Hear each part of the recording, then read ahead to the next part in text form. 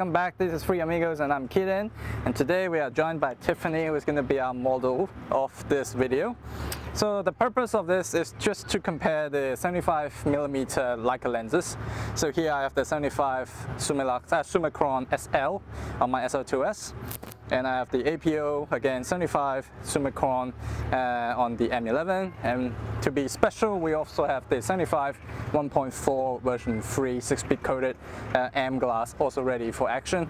So we'll be shooting her and we're gonna have a look at some of the images and compare and see which one is better or um, more accurately which one we prefer. So stay tuned and let's go. Okay, so shout out to Jason from LSK who is lending us this very special lens. It's the Summilux uh, 75 uh, version 3 6-bit coated. And uh, my god the, the barrel is so smooth in focus. So again, once again we're to shoot Tiffany with this crazy lens um, wide open 1.4 and then we're to do f2 again, okay? Let's go.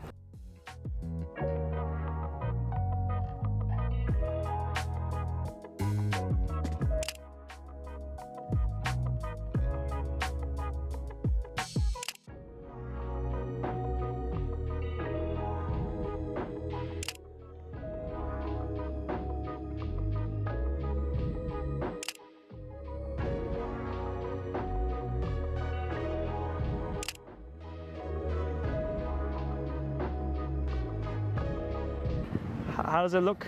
Share the camera. So right off the, the bat, I mean, this is such a good lens. I, I, only APO, but you know, you asked me about the Leica profile, the Leica look, and it has to be this one right here. So it's it's heavier than the APO, but so far I like it. So thanks Jason for lending us. And uh, if you're interested in buying this, you know, check out the LSK um, IG in the in the description below. All right.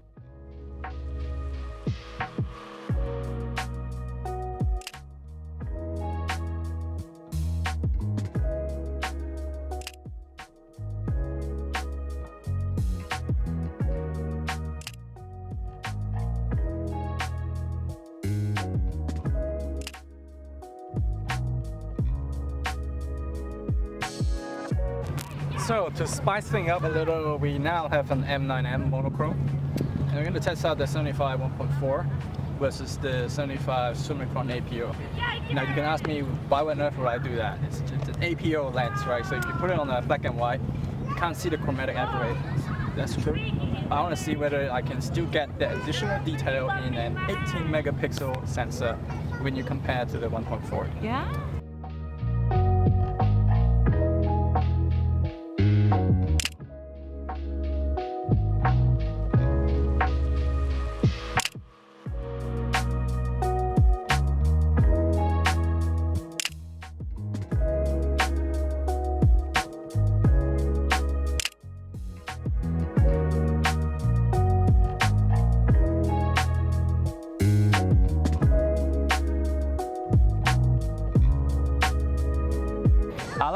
Like Tiffany is a trained model that, you know, she knows I'm using a rangefinder so she stays still.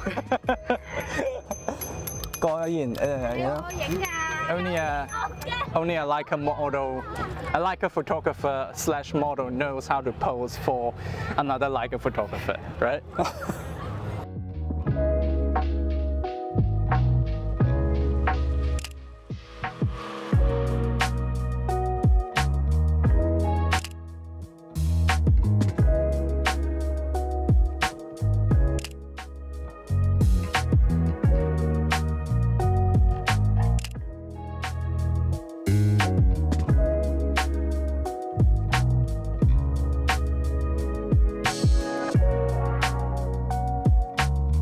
So the good thing about the SL is that it has autofocus. Obviously it's larger than all the M lenses, but you know I can just point and click and look elsewhere and still it will focus on Tiffany here. And I like how, you know, you're able to operate with one hand. obviously the whole experience is different, but the autofocus on the SL2S 4075 is pretty fast. And as a prime, it's alright, it's not too big. And you know, such a convenient device to hold. And if your model is like Tiffany, she's slightly shy at some areas, having an autofocus system is so much better. It's so much versatile.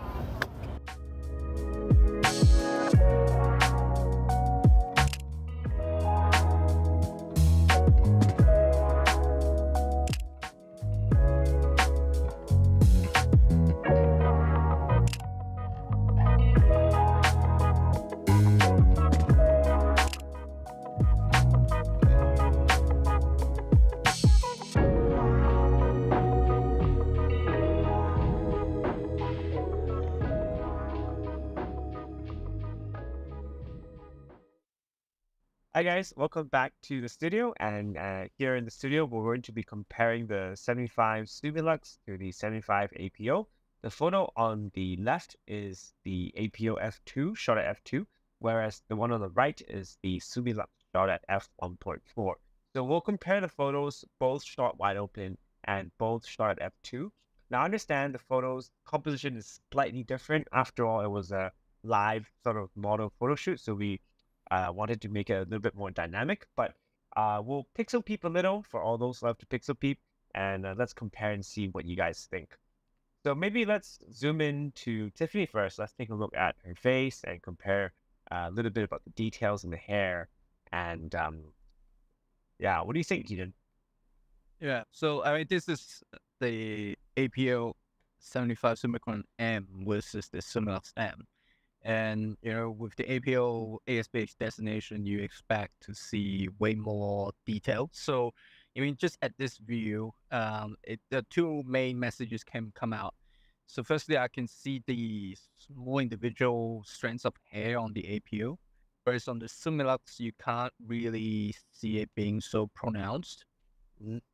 Uh, and this may be a good thing or a bad thing up to in terms of what you want out of your picture. But if I were to deliver them professionally, then I probably need to edit the hair of the APO because it looks a bit m- messy, doesn't it? Whereas on this, do too much because the hair looks uh, uh, softer in, in a way that the individual stick out in your face.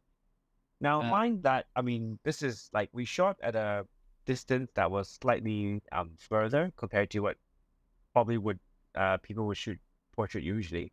Yeah. Uh, I think uh, because if we really want to sort of dig into the details, um, whereas if you were to shoot, you know, very up tight, and I think the differences won't be as uh, pronounced. So this is just more of an exaggeration, uh, uh, showing what the lenses are capable of and how they compare uh, to one another. But definitely, you you see more details in, in the in the APO. Um, so again, that comes down to personal preference, really. Um, as you know, some portrait photographers they love their photos being nice and clinically sharp, uh, where some people uh, would prefer uh, more, you know, uh, softer sort of look. So depending on your personal preferences.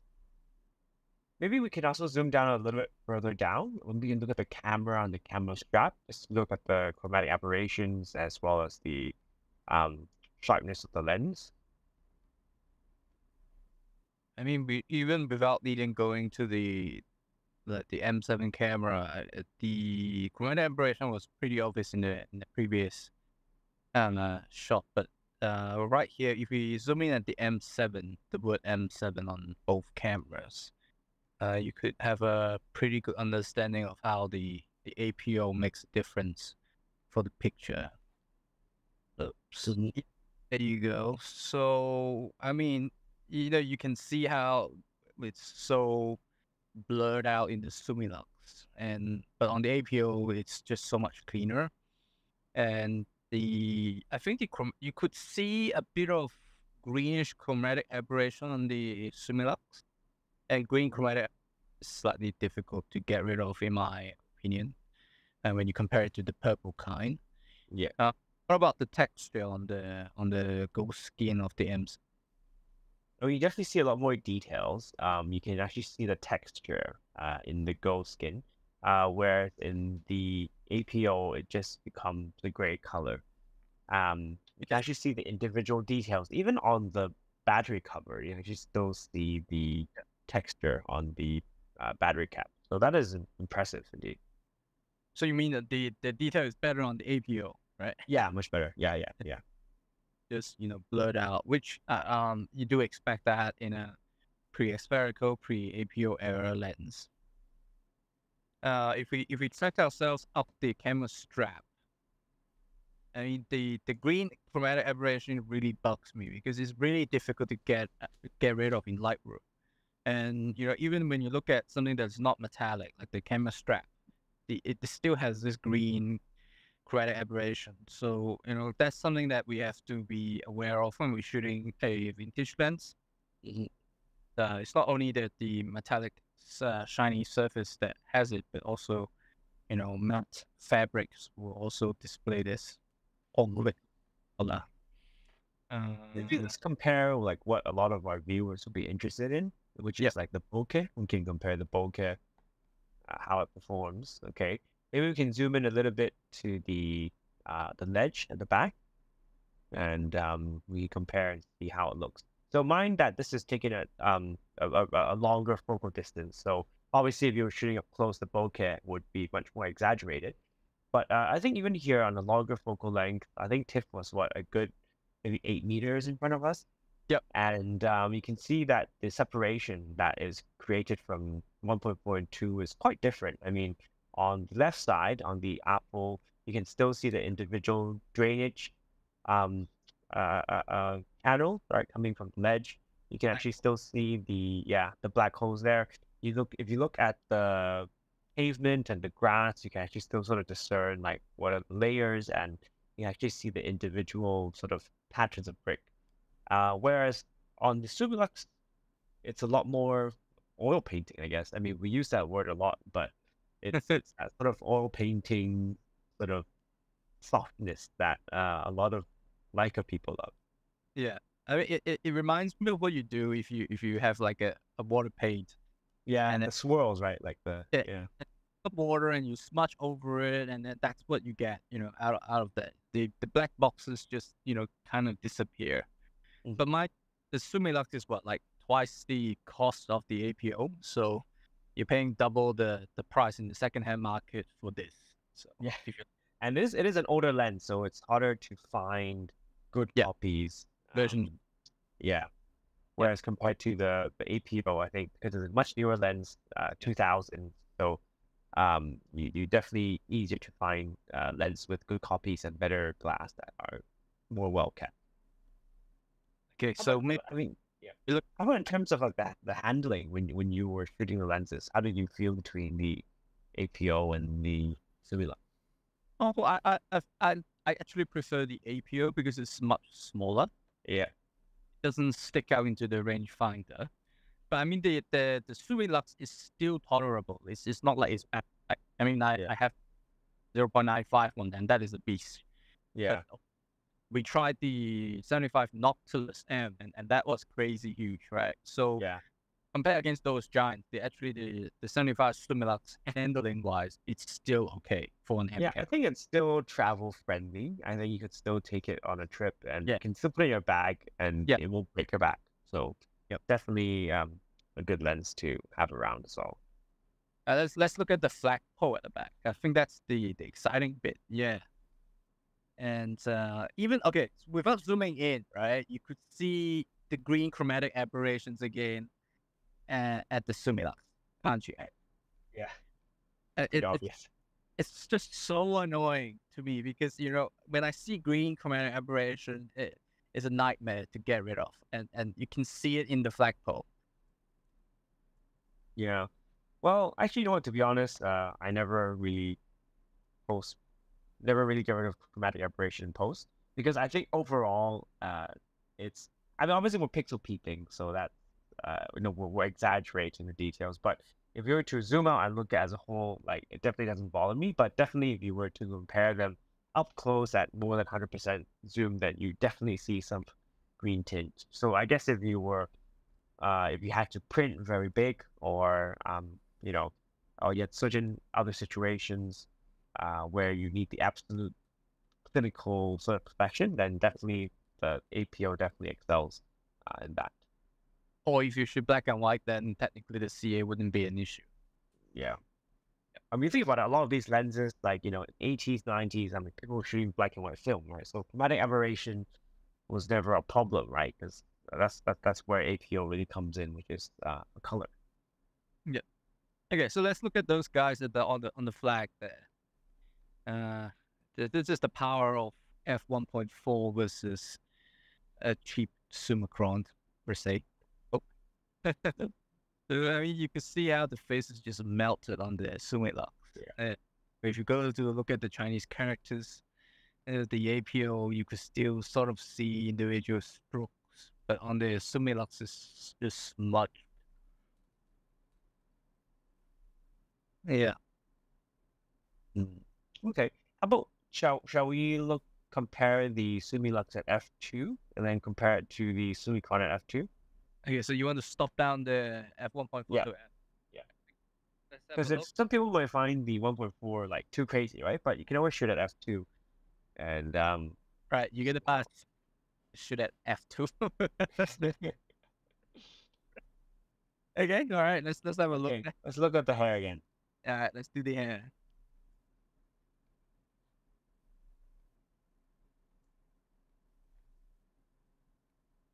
Okay, well, I think compared to 1.4, you see a little bit more detail in the hair. You can see a little bit, tiny bit of separation and the strands coming up.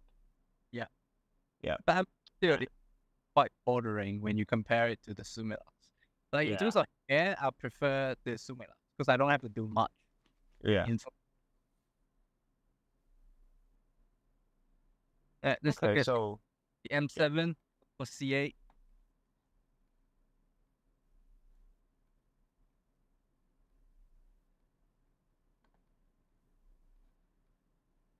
Okay. Okay.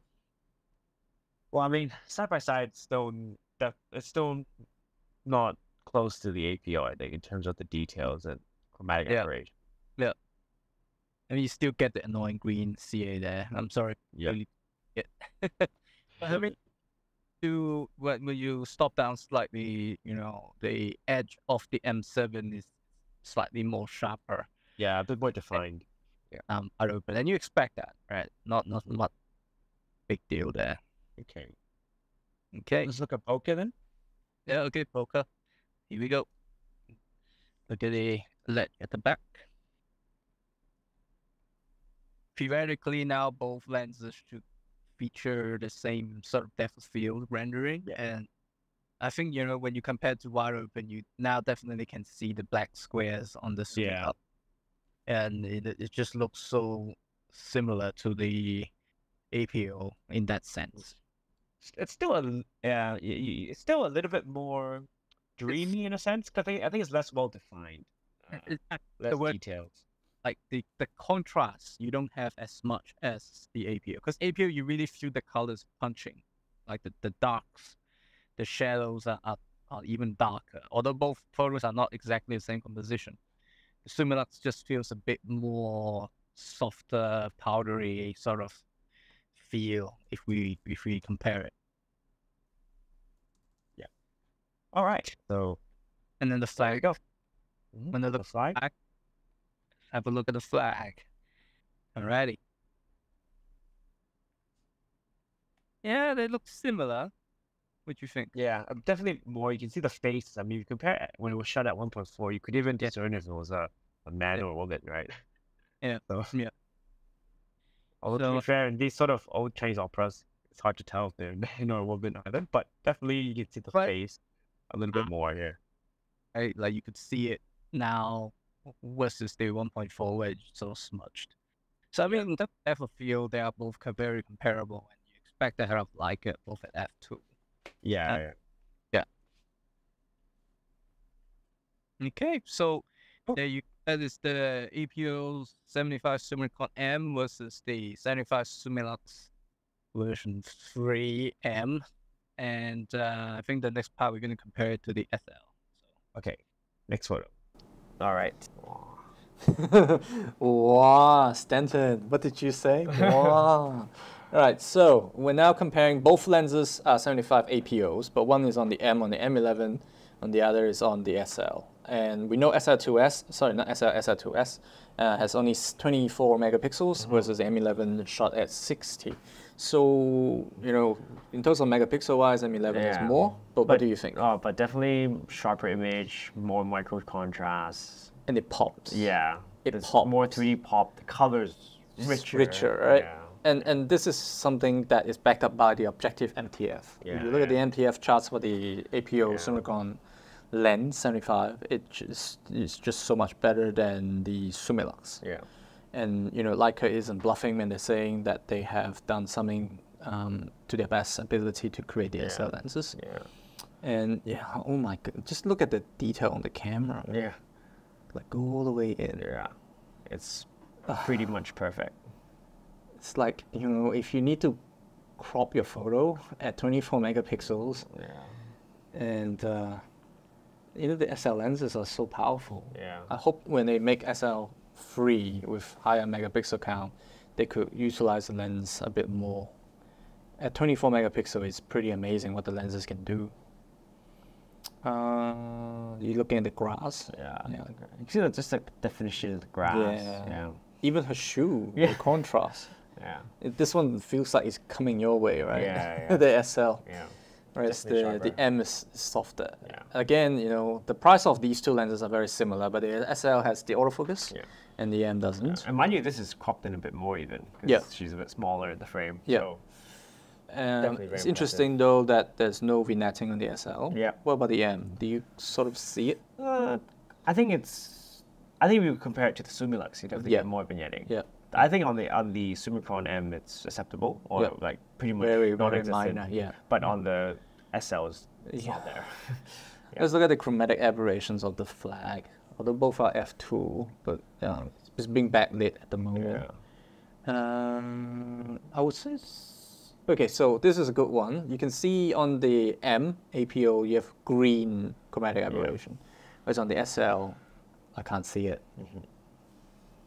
So you know, if you're going for the best optics, Leica has to offer, mm, SL is probably Yeah. the way to go. You can't I mean, it's autofocus. autofocus, and it's not really that big. Yeah. And you know, if you're going, if you like those sort of modern-looking perfection, you know, the SL is the way. Yeah. Um, Pros and cons. It's up to you which one you prefer, but yeah. it's I think, interesting. I think the conclusion is like all three are great lenses. Yeah. Can't go wrong with either one of them. yeah, Depends what you're looking for in terms of the portrait what you're doing. Yep. Um, personally speaking, I guess you know, vintage glowy for you. Yeah. Um, like you know, you don't you don't you don't need that sort of sharpness and that sort of resolving Yeah. power. So, in terms of like the image, what that's pleasing to the eye for me, the, Yep. I think Summilux is is it's a good one. It's a good you. one.